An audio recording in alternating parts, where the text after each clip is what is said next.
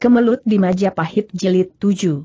Benar, dan aku pun agaknya tidak akan mencampuri pertandingan antara mereka. Buktinya, sampai Ronggolawe kalah pun aku tidak membantunya. Hanya saja, aku melihat kecurangan yang dilakukan Kebo Anabrang dalam pertandingan itu. Dia sengaja memancing Ronggolawe ke tengah sungai tambak beras dan mengandalkan kepandaiannya di dalam air, dia menyeret Ronggolawe ke dalam air dan menanamkannya, kemudian menyiksanya. Hatiku tidak kuat menyaksikan itu, maka ku bunuh dia. Andai kata pertempuran itu terjadi sewajarnya, di darat seperti seorang gagah menghadapi lawannya, biarpun bagaimana aku tidak nanti akan mencampurinya. Tumengung Singosar dulu masih belum hilang kagetnya. Akan tetapi, desas-desus itu mulai terdengar ke mana-mana, bagaimana kalau terdengar oleh Seng Prabu. Dengan tenang lembu Sora menjawab, aku sudah berani berbuat, tentu berani pula menanggung segala akibatnya, Dimas Tumenggung. Hal itu sudah terjadi, dan apa pun yang akan menjadi akibat, akan kuhadapi sendiri. Tumenggung Singosar dulu lalu berpamit dan tergopoh-gopoh dia menghubungi Resi Mahapati untuk menyampaikan berita penting tentang pengakuan lembu sora itu. Resi Mahapati tertawa girang. Nah, Kau tunggu apa lagi, Tumenggung Singosar dulu. Sekarang engkau telah mendengar sendiri dari mulut lembu sora. Nah, sebarkanlah berita ini ke lingkungan istana.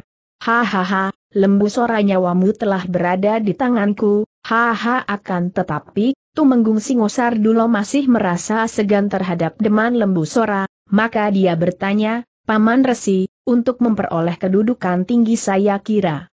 Semestinya kalau kita menyingkirkan Patih Nambi, akan tetapi mengapa Kakang Mas Demang lembu sora tiba-tiba Resi Mahapati menghentikan ketawanya dan memandang bengis ke arah Tumenggung itu. Singodar dulu engkau hanya tahu membantuku dan kelak akan kebagian kedudukan yang baik, mengapa banyak cerewet Tumenggung itu terkejut. Dia memang takut kepada resi ini dan sudah berada di bawah pengaruhnya, maka cepat dia berkata, harap maafkan, Paman Resi. Resi Mahapati tersenyum, lalu berkata, suaranya berubah halus, kau percayakanlah saja kepadaku, Tumenggung Singosar dulu. Bukan semata-mata aku memusuhi lembu sora tanpa sebab yang kuat.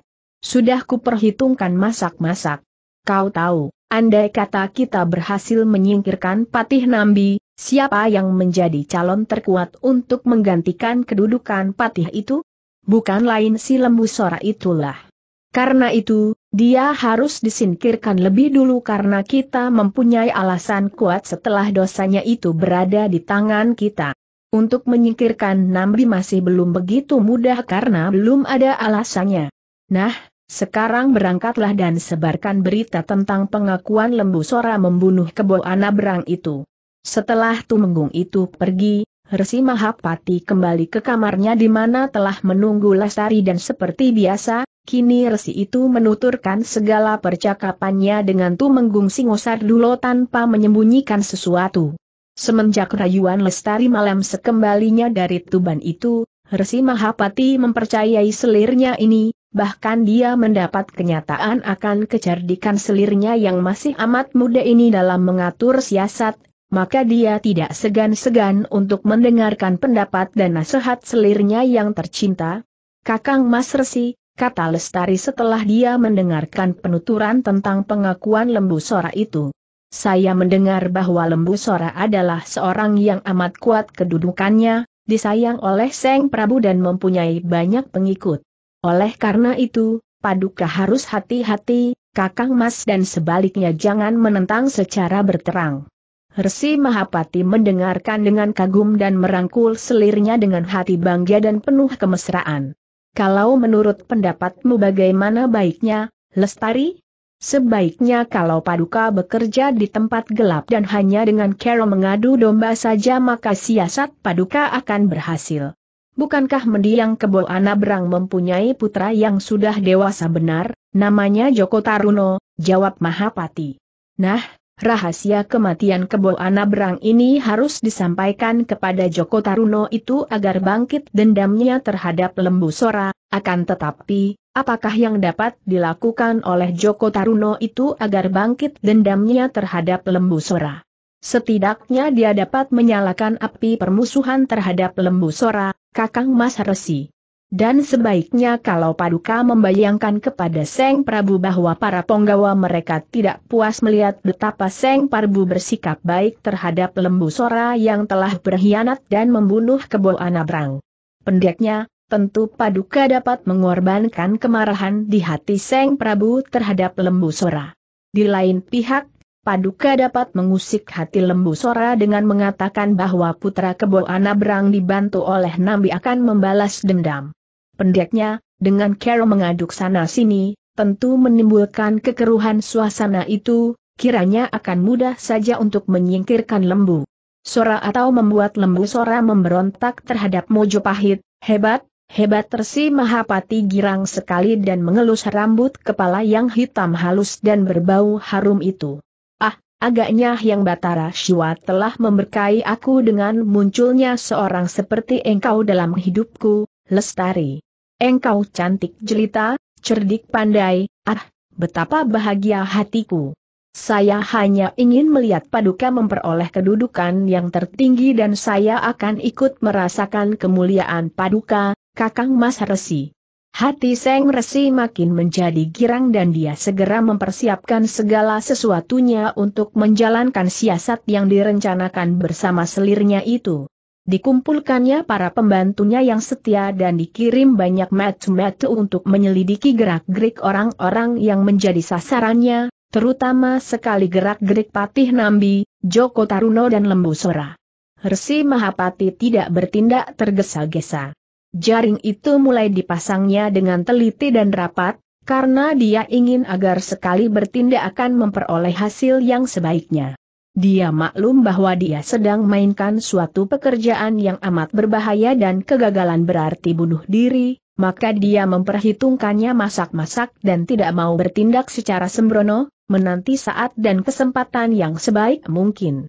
Sementara itu, secara halus pula, tidak kentara dan tidak menyolok sehingga tidak ada yang tahu atau menduga bahwa sumbernya dari dia, Tumenggung Singosar dulu mulai menyebarkan berita tentang rahasia kematian Kebo Anabrang yang sesungguhnya tewas di tangan lembu sora. Hebat sekali desas-desus ini, seperti api di kipas angin, melanda seluruh istana, bahkan seluruh penduduk kota raja dalam waktu beberapa bulan saja sudah membicarakannya dengan bisik-bisik dan dengan penuh ketegangan, kemudian berita itu menjalar keluar kota raja. Akan tetapi, tidak ada yang berani membicarakan desas lembu sora sendiri yang tahu akan adanya desas-desus itu, hanya tenang dan dengan sikap gagah dan menanti akibat daripada perbuatannya itu. Bahkan untuk menjaga segala kemungkinan, tak lama kemudian, yaitu kurang lebih dua tahun setelah kematian Ronggo Lawe dan beberapa bulan setelah Arolo Wirorojo pindah ke Lumajang dan menjadi adipati di sana, Lembu Sora lalu mengungsikan keluarganya ke Lumajang sungguh pun dia sendiri masih tetap berada di Mojopahit dan setiap pertempuran selalu menghadiri di hadapan Seng Prabu dengan setia. Paman Empu dan Paman Resi, matahari mulai condong ke barat, kita harus mempercepat perjalanan kalau tidak kita akan kemalaman di hutan itu, kata Reksosuro yang jangkung bermata jeling itu. Mereka itu semua naik kuda. Reksosuro, pembantu Resi Mahapati dan lima orang pengawal lain yang kesemuanya memiliki kepandaian tinggi. Enam orang ini mengiringkan dua orang kakek yang juga menunggang kuda dan melihat dua orang kakek itu menjalankan kuda perlahan-lahan sambil bercakap-cakap Reksosuro yang takut kemalaman di hutan itu memujuk mereka berdua agar mempercepat perjalanan. Dua orang kakek itu adalah Empu Tanjung Perak dan Resi Harimurti. Empu Tanjung Perak adalah kakak seperguruan dari Resi Mahapati. Dia adalah seorang pertapa di pertapaan Tanjung Perak yang terletak di pantai Laut Jawa, di sebelah barat Laut Tuban. Beberapa hari yang lalu, Reksosuro bersama lima orang kawannya datang menghadap kepada Empu Tanjung Perak menyerahkan surat undangan Resi Mahapati untuk kakak seperguruannya ini.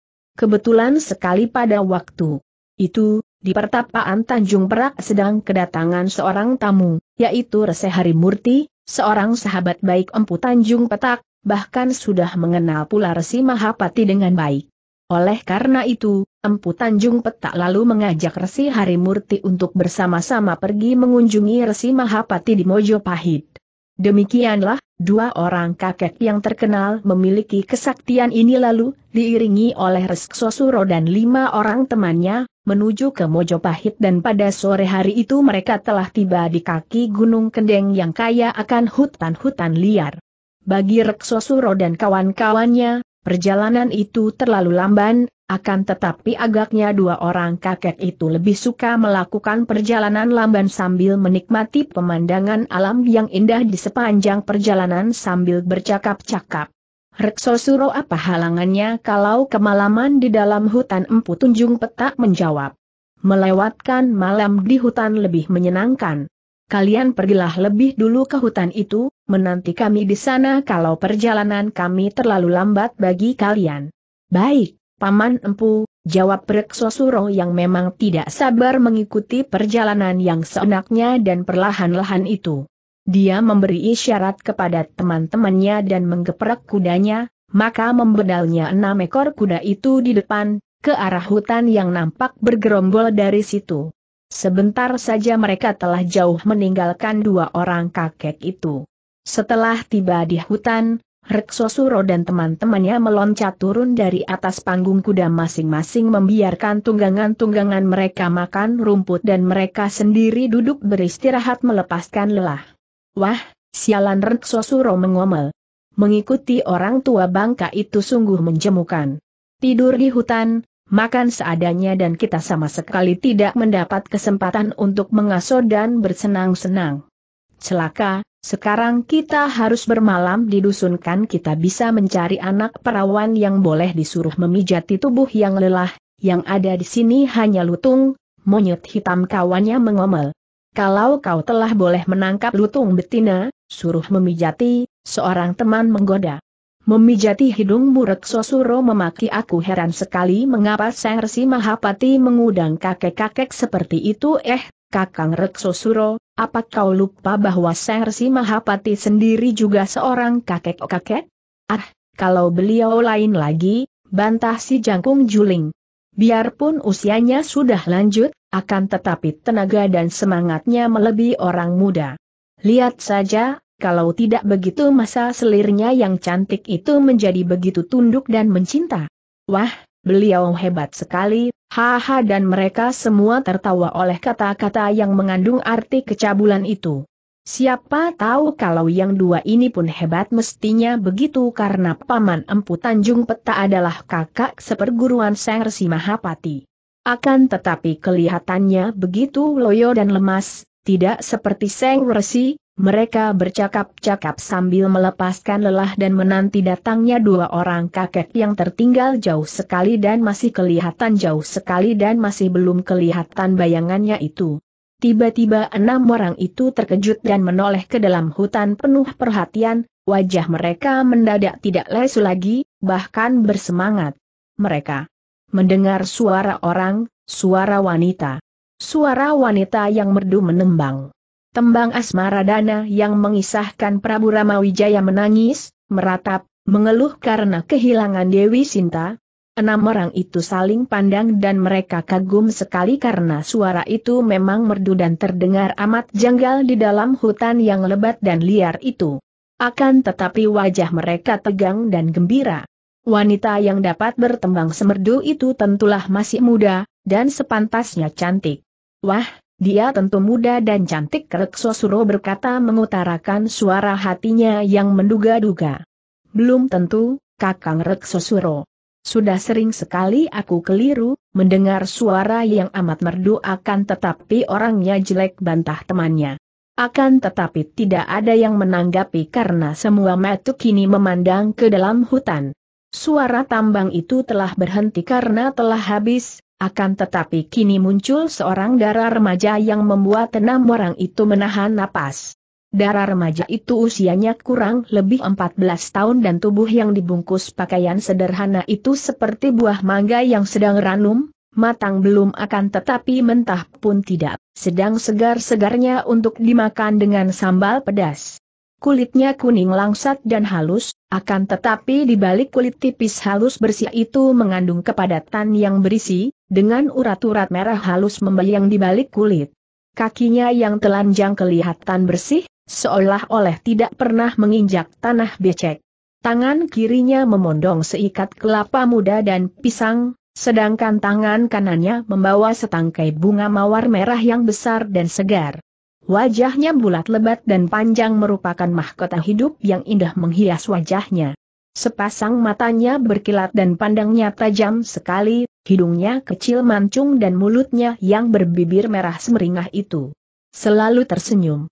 Pembawaan darah ini gembira dan jenaka, dapat dilihat dari senyum bibirnya dan sinar matanya, akan tetapi segala sesuatu di depannya, senyum sinis yang hanya dapat timbul dari seorang manusia yang telah banyak menderita kepahitan dan kekecewaan dalam hidupnya. Sukar mengatakan apakah darah remaja ini cantik dan manis, apakah hayu. Pendeknya semua itu ada padanya. Pada lehernya nampak seuntai kalung emas yang disambung dengan tali lawes sehingga tergantung panjang, dan hiasan kalung tersembunyi di antara buah dadanya yang mulai membusung tersembunyi di balik kain. Amboiwi, cantiknya. Enam orang yang memang selama dalam perjalanan diutus ke Tanjung Petak itu telah merasa kesepian dan kehilangan hiburan wanita yang ketika di kota raja hampir setiap malam mereka nikmati, tentu saja memandang ke arah darah remaja itu seperti pandang mati orang-orang kehasan melihat air sejuk jernih. Pandang mati mereka seolah-olah hendak menelan darah itu bulat-bulat. Ayu manis dan mulus. Denok montok menggairahkan. Manis, mari ikut dengan aku dan aku akan menceraikan biniku sayang, menembanglah lagi, suaramu merdu, enam orang itu ribut memuji-muji, akan tetapi darah remaja itu seperti terpesona oleh Reksosuro dan sejak tadi dia terus memandang kepada si jangkung juling ini, bahkan kini dia melangkah perlahan menghampiri. Langkahnya ini membuat mereka menelan ludah karena begitu lemah gemulai lenggangnya sehingga menonjolkan lekuk lengkung tubuhnya yang ranum dan belum matang benar namun setiap seginya menjanjikan bentuk-bentuk yang tentu amat mempesonakan dalam beberapa tahun lagi. Kini darah itu berdiri dekat Reksosuro, wajah laki-laki itu terus diamatinya penuh perhatian, penuh selidik dan tak pernah berkedip sejak tadi setengah terbuka mengulum senyum, bergerak ketika bicara dan nampaknya sekilas deretan giginya yang kecil putih teratur rapi. Bukankah Handika ini Reksosuro teriak seorang pengawal dengan kagum dan iri. Reksosuro membusungkan dadanya yang kerempeng, mengurut kumisnya dengan bangga dan matanya yang juling itu sukar dikatakan melihat atau melirik ke mana karena matu ini selalu melirik ke arah yang tidak sedang dipandangnya. Kemudian dia berkata dengan suara digagah-gagahkan. Ah, bocah ayu kuning, kiranya engkau telah mengenal namaku? Haha, wajahmu yang manis ini memang tidak asing bagiku, akan tetapi aku telah lupa lagi di mana aku pernah bertemu denganmu perawan ayu. Ah, benarkah engkau telah lupa, Reksosuro? Dan mana kawanmu itu yang bernama Darumuko? Eh, kau mengenal dia juga? Siapa kau dan mau apa kau mencari kami Reksosuro mengingat-ingat akan tetapi tetap saja dia lupa. Darah itu tersenyum manis bukan main melebihi madu mongso, lalu dia melangkah maju mendekat ke depan Reksosuro sehingga pria ini menjadi makin tertarik. Aku ingin memberi hadiah cuman teriak seorang temannya. Dan jangan pelit, Kakang Reksosuro, beri bagian sedikit-sedikit kepada kami Reksosuro yang sudah kegirangan itu menggerakkan tangan menyuruh teman-temannya diam, lalu dia bertanya, Cah Ayu, hadiah apa yang hendak kau berikan kepadaku darah itu menggerakkan setangkai bunga mawar yang dipegang di tangan kanannya, lalu berkata, hadiah ini.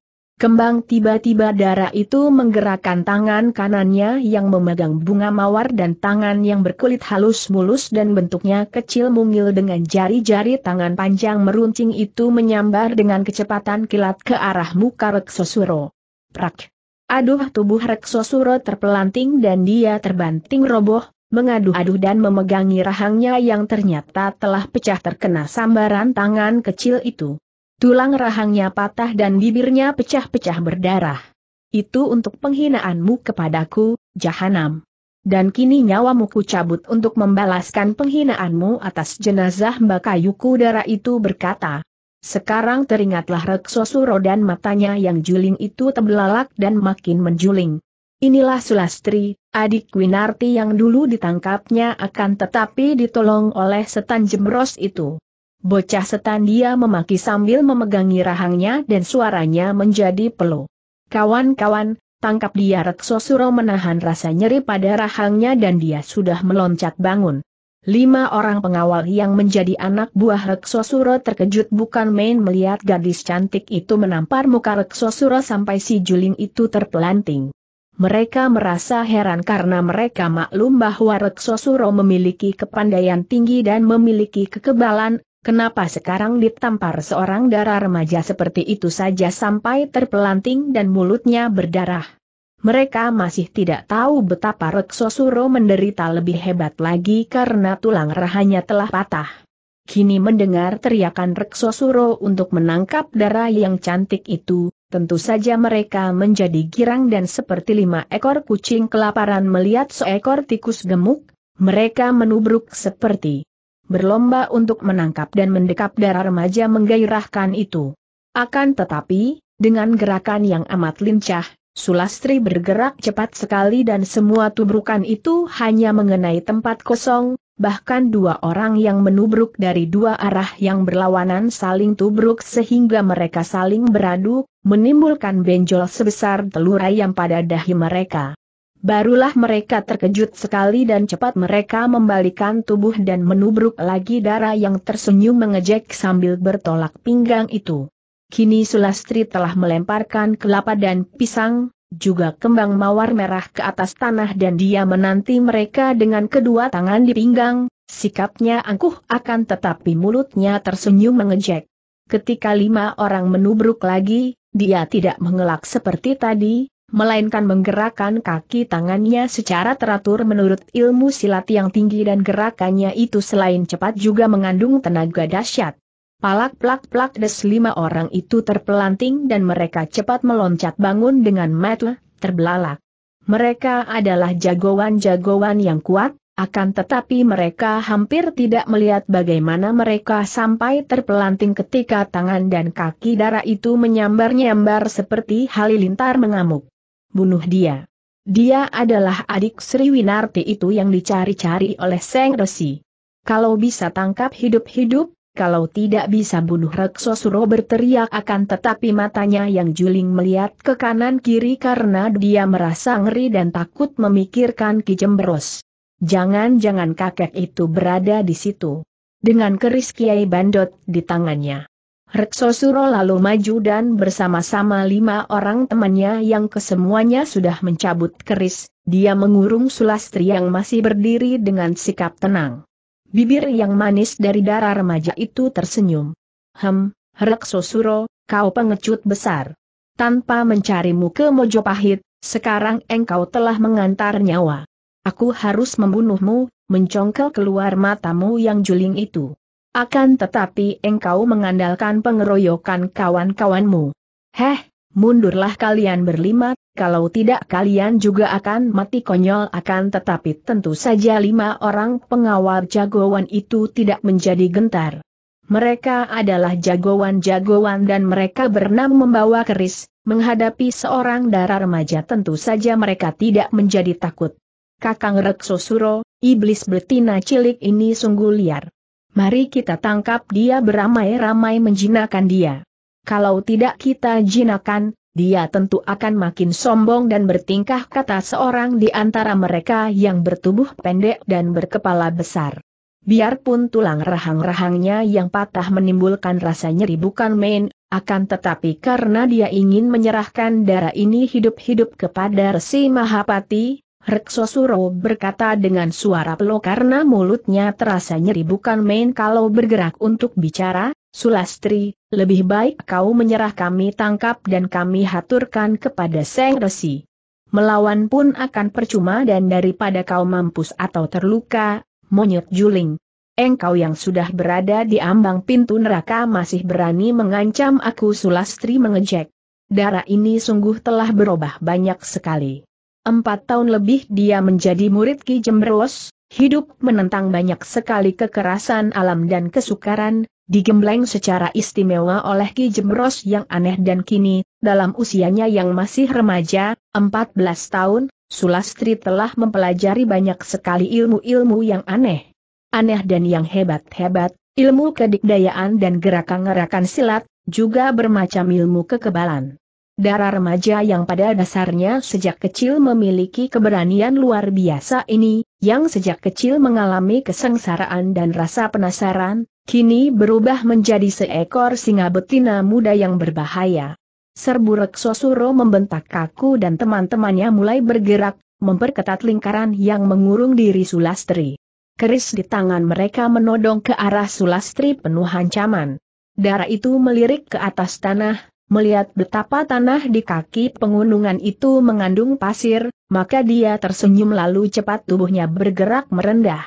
Gerakan yang tiba-tiba ini membuat enam orang pengurungnya waspada, akan tetapi mereka tidak melihat gadis itu menyerang mereka, maka mereka lalu melangkah maju mendekati Sulastri yang masih berlutut dengan tangan menyentuh tanah itu. Aduh! Ah! Mataku dua orang di antara mereka yang kurang waspada terkena pasir matanya sehingga mereka menjadi bingung dan panik, untuk sementara mereka tidak dapat membuka mata dan hanya menggosok-gosok kedua matanya dengan tangan kiri. Empat yang lain sempat memejamkan mata akan tetapi pasir-pasir halus itu seperti jarum-jarum saja memasuki kulit muka sehingga mereka juga gelagapan.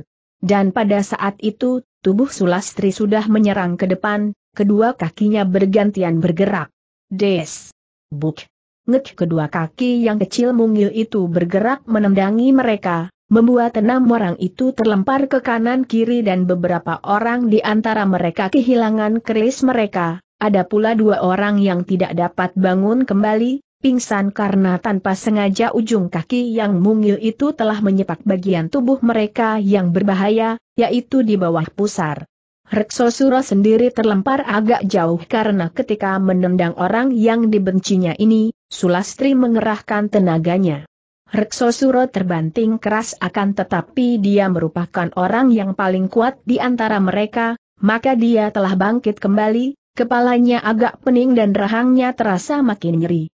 Ketika dia memandang, Terkejutlah dia karena darah remaja yang luar biasa itu telah meloncat dan seperti seekor burung saja telah melayang dan tiba di depannya sambil tersenyum mengejek, senyum yang mengandung hawa maut.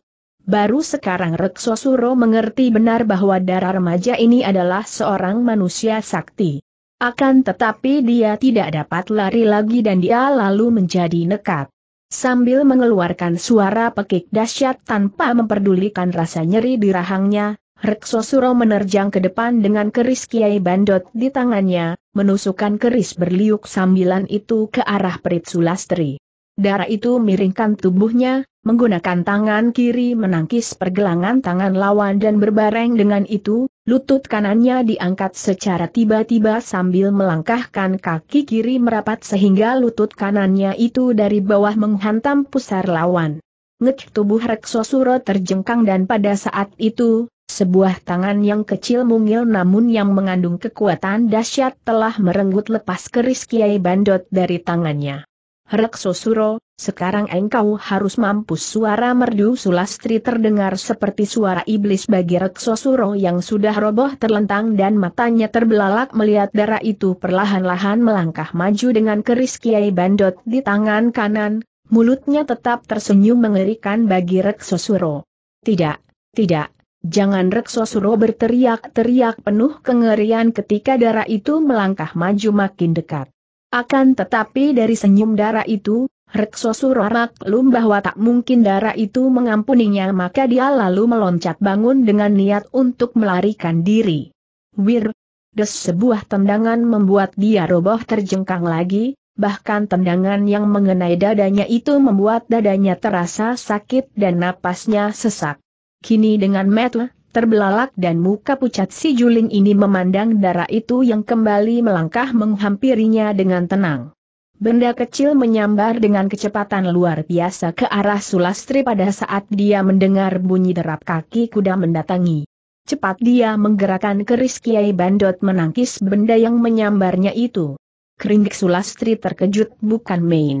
Benda itu ternyata hanya sebuah kerikil kecil sebesar kelungsu, biji asam, akan tetapi ketika mengenai keris yang dipegangnya dan dipergunakannya untuk menangkis, keris itu tergetar hebat dan tangannya menjadi kesemutan. Hal itu menjadi tanda bahwa kerikil itu disambitkan dengan tenaga sakti yang amat kuat dan bahwa penyambitnya adalah seorang yang memiliki ilmu kepandaian tinggi. Paman Empu, tolong terdengar Reksosuro berteriak dan Sulastri cepat menoleh ke arah suara kaki kuda yang sudah tiba di tempat itu. Dia melihat dua orang kakek yang kelihatan lemah. Yang seorang adalah kakek tinggi dengan pipi kempot dan mulutnya tertutup segumpal tembaka susur kecil dan matanya sipit, rambutnya panjang putih semua, sikapnya halus namun membayangkan ketinggian hati. Kakek kedua bertubuh tegap dan bersikap gagah, kumis dan jenggotnya terpelihara rapi, tangan kirinya memegang sebuah kipas bambu yang bundar dan pinggangnya terselip sebatang pecut, cambuk, penggembala sapi yang amat panjang akan tetapi ujungnya dibelit-belitkan kepada gagangnya. Tahulah Sulastri bahwa dua orang kakek itu tentu orang-orang sakti dan sambitan kerikil tadi tentu dilakukan oleh seorang di antara mereka. Akan tetapi begitu bertemu, dia merasa tidak suka kepada kakek ini mempunyai mata lebar yang pandangannya gelit dan tajam penuh kecabulan. Memang dugaan darah remaja yang biarpun masih amat muda namun sudah mengalami hal-hal yang hebat itu dan memiliki pandangan tajam, adalah benar.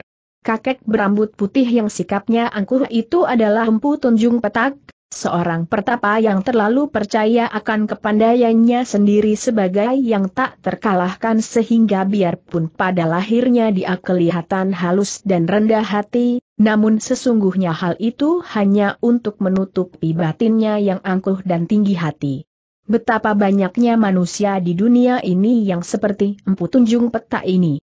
Memaksa diri untuk kelihatan sederhana dan rendah hati, bersikap halus dan sabar, akan tetapi sayang, semua itu hanya seperti kedok belaka karena di sebelah dalamnya, batinnya penuh dengan perasaan angkuh dan sombong, merasa pintar sendiri, merasa yang paling suci, paling bersih, paling pandai, paling sakti. Kita lupa bahwa kerendahan hati, atau kesederhanaan atau kebajikan, bukankah terletak di pakaian sederhana, bukan pula di sikap sederhana atau halus, bukan pula dalam tata hidup yang sederhana melainkan jauh mendalam di dalam batin kita masing-masing. Pakaian, sikap, tata hidup yang kesemuanya nampak di luar hidup yang kesemuanya nampak di luar itu hanya untuk pamer dan untuk dinilai orang lain belaka, dan semua itu tidak ada gunanya karena palsu. Yang penting adalah pengertian diri sendiri, karena kitalah yang mengerti dan mengenal diri kita sendiri, kepalsuan-kepalsuan dalam diri kita. Dan kita pula yang dapat merubah diri sendiri. Seorang pertapa di puncak gunung yang sunyi, yang hanya berpakaian sehelai cawat, yang tinggalnya di bawah pohon, yang kelihatannya saja seperti seorang yang paling sederhana, belum tentu memiliki batin sederhana dan semua kesederhanaan yang disengaja, yang dipergunakan hanya sebagai care untuk mendapatkan sesuatu, bukanlah kesederhanaan namanya. Kesederhanaan adalah palsu dan dibuat-buat. Kalau batin sudah tidak mengejar apa pun juga, dialah namanya orang sederhana. Kakek kedua yang mengipas-ngipaskan kipas bambu di depan dadanya itu adalah Resi Harimurti. Kakek ini adalah seorang pertapa yang suka merantau, tidak suka tinggal di tempat tertentu, kepandaiannya juga tinggi dan memiliki bermacam kesaktian dan aji-aji yang dahsyat. Akan tetapi, kakek ini memiliki suatu kelemahan, yaitu batinnya penuh dengan kecabulan.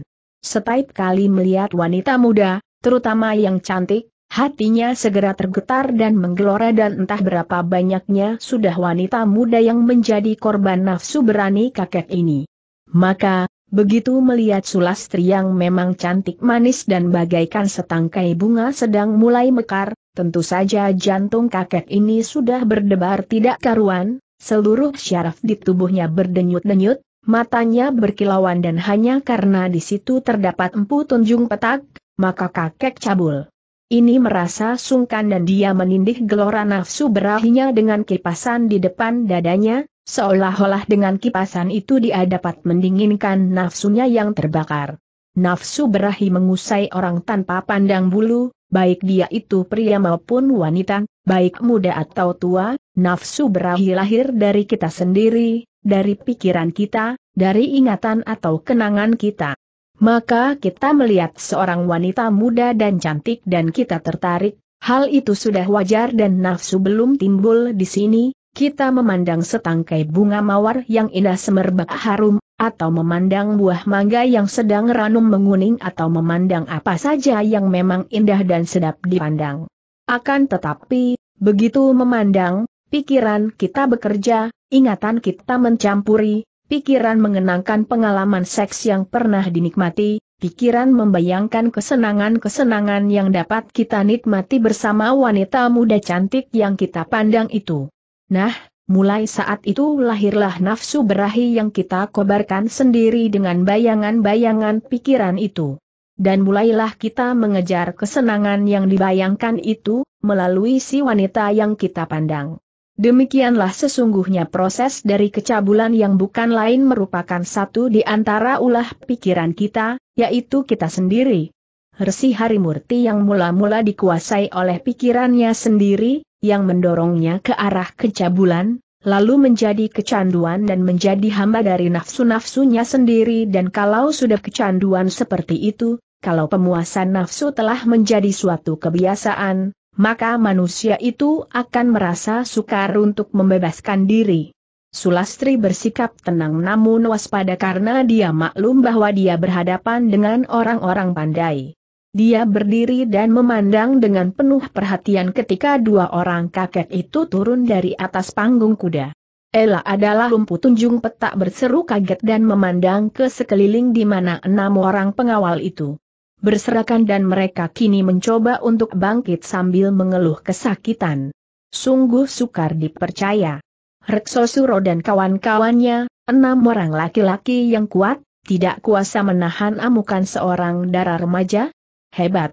Eh, Nini, siapakah kau dan kenapa engkau seorang darah remaja begini ganas mengamuk dan hampir membunuh ponggawa-ponggawa Mojopahit? Sulastri sejenak memandang kepada empu tunjung petak, Sepasang matanya yang jeli dan tajam itu menentang penuh selidik dan dia dapat melihat kelembutan sikap kakek ini. Eyang, saya hanya mempunyai urusan dengan si Reksosura seorang, akan tetapi mereka itu mengeroyok saya. Harap Eyang tidak mencampuri urusan pribadi antara saya dengan Reksosura si Jahanam, dan saya tidak peduli apakah dia itu penggawa Mojopahit, karena bagi saya dia adalah penggawa neraka jahanam yang harus dilenyapkan. Jagat Dewa Batara. Selama hidupku baru sekarang aku bertemu dengan seorang darah remaja seganas ini. Nini engkau hendak terbuat apakah terhadap Reksosuro? Hendak saya congkel kedua matanya dan saya penggal lehernya jawab Sulastri dengan berani. Hem, enak saja kau bicara, bocah lancang. Reksosuro adalah seorang penggawa dan utusan dari Mojopahit. Apakah kau berani bicara selancang itu tidak peduli? Siapa pun yang membela jahanam ini, terpaksa saya lawan hahaha. Kakang Empu, serahkan saja bocah itu kepadaku, kata Resi Harimurti sambil melangkah maju. Terserah kepadamu, Adi Resi. Akan tetapi dia masih kanak-kanak, jangan membunuhnya, membunuh. Hahaha, dibunuh, kakang. Sambil eman-eman, sayang, kalau tertawa-tawa Resi Harimurti. Melangkah maju menghampiri Sulastri yang berdiri tegak dan bersikap waspada. Mereka berhadapan. Pandang matu Sulastri tajam menusuk penuh keberanian, sedangkan Resi Harimurti sambil menggerak-gerakan kipasnya memandang seperti pandang matu seorang tengklak kerbau sedang meneliti dan menaksir seekor kerbau betina muda yang akan dibelinya. Dia menganggul-angguk puas sekali. Nini, engkau sungguh denok dan jelita. Janganlah nekat seperti itu, mari kau ikut bersamaku dan kalau kau memang suka akan ketangkasan, kau bisa menjadi murid Resi Harimurti dan kau pasti akan menikmati kesenangan hebat, hahaha. Resi menjemukan, kau pergilah dan jangan mencampuri urusan pribadiku dengan Rekso Sulastri membentak. Haha, kau seperti seekor kuda betina muda yang binal. Kalau begitu, engkau harus ditundukkan dan jinakan, baru menyenangkan, haha. Sulastri sudah tak dapat menahan kemarahannya lagi mendengar ucapan-ucapan yang dianggapnya amat menghinanya itu. Tua bangka busuk dia memaki dan tubuhnya sudah bergerak cepat ke depan, tangan kirinya, menampar dari samping. Tamparan tangan kiri darah remaja ini bukanlah sembarangan karena dia telah menggunakan aji hasta naga, yaitu semacam aji kesaktian yang mendatangkan tenaga mujizat di dalam telapak tangan kirinya yang halus itu sehingga dengan pukulan aji hasta naga ini, darah remaja itu sanggup memukul hancur batu karang. Seng Resi Harimurti terkejut juga menyaksikan hebatnya angin pukulan tangan kini ini. Dia mengenal pukulan ampuh dan sama sekali tidak menyangka bahwa darah yang usianya baru belasan tahun ini memiliki aji pukulan yang sedemikian hebatnya. Dia pun tidak berani sembrono menerima tamparan yang dahsyat itu, maka dia cepat mengangkat tangan kanan menangkis. Des tangan kiri yang mengandung hawa sakti itu bertemu dengan tangkisan tangan kanan Resi Harimurti yang juga mengarahkan aji kesaktiannya dan akibatnya tubuh kakek itu tergetar hebat akan tetapi darah remaja itu terhuyung mundur dua langkah. Resi Harimurti terkejut bukan kepalang, karena jarang ada lawan yang dapat menggetarkan dia sembarangan rupa, apalagi hanya seorang darah remaja. Untuk menutupi rasa kagetnya, dia tertawa dan hatinya makin tertarik oleh darah ini. Selamanya entah berapa ratus atau ribu orang wanita muda sudah dia dapatkan, baik dengan sukarela maupun secara paksa, namun belum pernah dia mendapatkan seorang darah yang hebat seperti ini.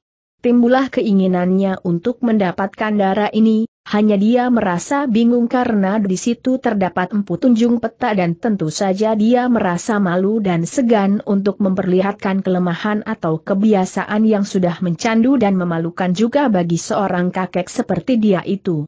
Hahaha, tamparan mulunaknya, Nini seperti gudir, agar-agar. Tentu saja Sulastri menjadi semakin marah dan kini dia meloncat lagi ke depan, Tangan kirinya sekali lagi menampar dan untuk kedua kalinya ini dia mengerahkan seluruh tenaganya dalam aji hasta naga itu.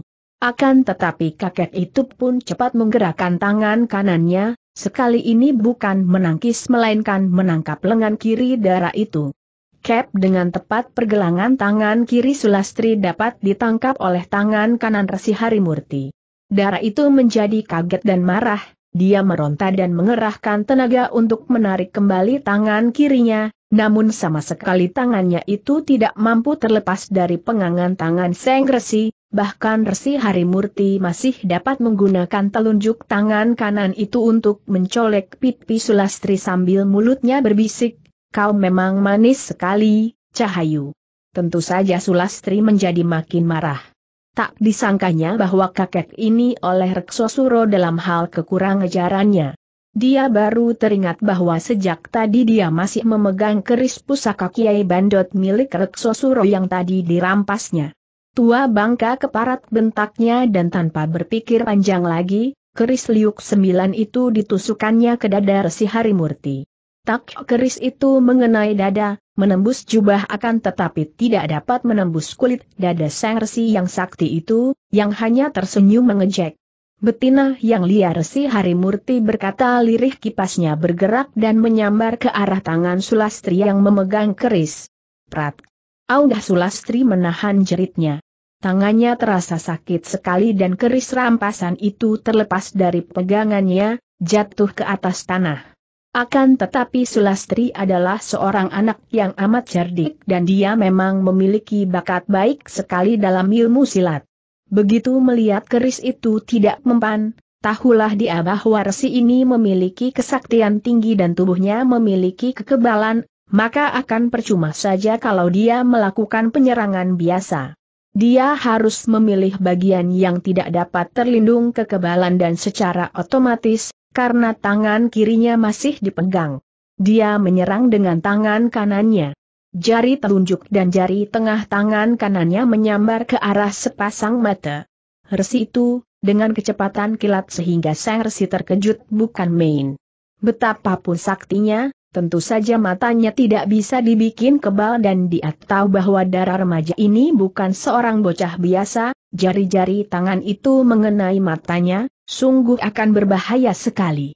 Dan pada saat itu, kaki Sulastri juga bergerak cepat, menendang ke arah selakangan lawan di bawah pusar, tempat yang merupakan kelemahan bahkan tempat kematian bagi setiap orang pria. Harsi Harimurti makin kaget dan terpaksa untuk menyelamatkan dirinya dia melepaskan tangan kiri darah itu, menggunakan tangan kanan untuk menangkis tusukan ke arah matanya dan dia menggunakan kipasnya untuk menyambut pendangan kaki Sulastri. Akan tetapi darah ini memang cerdik. Dimaklum bahwa kepandaiannya tidak akan mampu mengalahkan resi ini serangan-serangan tadi sesungguhnya hanya dia lakukan sebagai gertakan dengan maksud agar tangan kirinya yang tertangkap itu dilepaskan. Setelah kini tangannya terlepas, dan melihat kipas pusaka itu menyambar kaki, dia cepat meraih kembali kakinya, melempar tubuh ke belakang dengan kuat sehingga tubuhnya berjungkir balik tiga kali ke belakang dan kini dia sudah berdiri agak jauh dari Rsi Harimurti yang sakti itu. Hem suara geraman ini seperti auman singa dan menggetarkan hutan itu sehingga semua orang menjadi terkejut. Akan tetapi itu bukan auman singa karena segera disambung suara manusia yang terdengar bergema dan mengandung getaran dahsyat, siapa berani mengganggu muridku, Lestari mundurlah Eyang Gak Sulastri menjadi girang bukan main dan dia cepat mundur beberapa langkah menjui orang-orang itu, matanya tajam dan waspada memandang gerak-gerik mereka. Empu Tunjung Petak dan Resi Harimurti saling pandang. Mereka mengerti bahwa guru darah remaja itu datang dan mereka terkejut dan kagum sekali karena suaranya sudah begitu dekat namun orangnya belum nampak. Dari ini saja, apalagi merasakan getaran suara itu, mereka berdua sebagai orang-orang sakti mengerti bahwa yang akan datang ini adalah seorang luar biasa yang berilmu tinggi, maka keduanya tanpa bicara, hanya dengan pandang mata saja, sudah bersepakat untuk bersikap hati-hati. Sementara itu Reksosuro yang tadi sudah merayap dan mengambil kerisnya, ketika mendengar suara itu, Mukanya menjadi pucat sekali dan dia menyelinap ke belakang empu tunjung petak seperti seorang anak kecil ketakutan yang bersembunyi di belakang orang dewasa untuk minta perlindungan. Dia mengenal suara itu, suara orang yang amat ditakuti, dan yang mendatangkan kengerian di dalam hatinya. Betul saja, tidak lama kemudian muncullah seorang kakek raksasa yang amat menyeramkan dan yang amat dikenal oleh Reksosuro dan yang sering dijumpainya dalam mimpi sehingga membuat dia hampir mati ketakutan. Ki Jembros atau Setan Jembros. Kakek jembel yang usianya sudah 69 tahun, bertubuh tinggi besar, bajunya terbuka, dadanya berbulu dan mukanya separuh tertutup oleh cambang bauk yang lebat, Sepasang matanya lebar mempunyai sinar yang tajam dan aneh, dan biarpun tubuh tinggi besar akan tetapi sesungguhnya dia kurus. Kakek ini telah tiba di situ, menoleh ke arah Sulastri dan pandang matanya melunak melihat darah itu tidak apa-apa, kemudian dia memandang kepada dua orang pendeta tua itu dengan sinar mata, tajam penuh selidik, kemudian terdengar dia berkata, Suaranya nyaring nadanya gembira seperti orang main-main, heh, kalian ini dua kakek tua bangka dan enam orang laki-laki pengecut, kenapa hanya berani mengganggu seorang bocah perempuan? Kalau mau main-main, inilah lawanmu, pria sama pria dan tua sama tua menyaksikan sikap kakek ini, Reksosuro dan lima orang kawanannya menjadi gentar, dan dua orang pendeta itu pun menjadi makin hati-hati. Empu Tunjung Petak melangkah maju dan memandang kakek itu dengan penuh perhatian dan dengan bibir tersenyum ramah, lalu pertapa pantai laut Jawa itu bertanya. Bukankah Handika yang bernama Ki Jembros? Dengan matanya yang terbelalak lebar, Ki Jembros menatap wajah Empu Tunjung Petak, dan melihat pipi yang kempot itu menyembunyikan sekepal tembaka susur di sebelah kiri sehingga nampak menjendol di pipi. Ki Jembros tertawa. Hahaha, Aku pernah mendengar akan seorang pertapa di pantai Laut Jawa yang mencoba untuk menundukkan segala nafsunya akan tetapi masih kalah oleh segenggam tembakau susur. Andikakah orangnya? Wajah yang kurus dari Empu Tunjung Petak menjadi merah. Akan tetapi dia menahan kesabarannya karena pertapa ini memang sudah mendengar akan tokoh perantauan yang bernama Ki Jemros ini, yang kabarnya mempunyai watak ugal-ugalan dan aneh namun juga memiliki kesaktian yang hebat. Kisanak, katanya lembut. Kami tidak tahu bahwa gadis ini adalah murid Andika, dan kami tadi hanya mencegah dia membunuh para prajurit Mojopahit. Bohong, Eyang Sulastri membantah dengan suaranya yang nyaring. Eyang lihat siapa monyet juling itu dia menuding ke arah Reksosuro yang menjadi makin ketakutan, mencoba untuk menyembunyikan diri di belakang tubuh Empu Tunjung Petak dari pandang Matuki Jemberos. Dia adalah seorang di antara dua orang keparat yang dahulu menghina saya. Saya tadi mengenalinya dan hendak membunuhnya, akan tetapi lima orang kawannya membelanya, maka terpaksa saya hajar mereka. Saya tidak akan membunuh yang lain-lain, hanya akan membunuh si Lutung Juling, akan tetapi lima orang kawannya membelanya, maka terpaksa saya hajar mereka akan tetapi kakek setan itu menghalangi dan menyerang saya, kini dia menudingkan telunjuknya ke arah Resi Harimurti. Pandang Matuki Jemros beralih ke arah Resi Harimurti yang sejak tadi hanya memandang dengan senyum mengejek. Dia pun sudah pernah mendengar nama Ki Jembros, akan tetapi dia memandang rendah, apalagi setelah kini bertemu dengan orangnya dan mendapat kenyataan bahwa orang yang namanya amat terkenal itu ternyata bukan lain hanyalah seorang jembel tua. Di lain pihak, Ki Jembros juga menyelidiki wajah Resi Harimurti dan kakek ini segera dapat meneropong watak Sang Resi melalui sinar mata yang terpancar dari sepasang mata pertapa kelana itu. Aha, aku tidak mengenal dia ini akan tetapi biarpun pakaianmu jubah pendeta seperti seorang resi, akan tetapi jelas bahwa dia ini seorang hamba nafsu berahi yang amat lemah. Diam-diam Resi Harimurti terkejut dan malu sekali mendengar ucapan yang memang tepat itu.